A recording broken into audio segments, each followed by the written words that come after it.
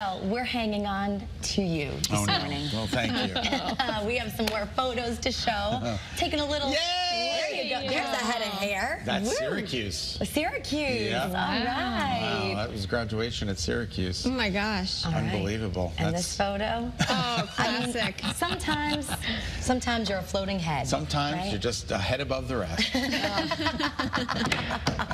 Oh, but happy birthday. We're excited. Thank you guys so And- much. And we want to let the viewers know we have a ton of surprises coming up at 9A and also on Great Day Connecticut at 3. So stay tuned for that as well. Are you You- are you ready? I'm not ready.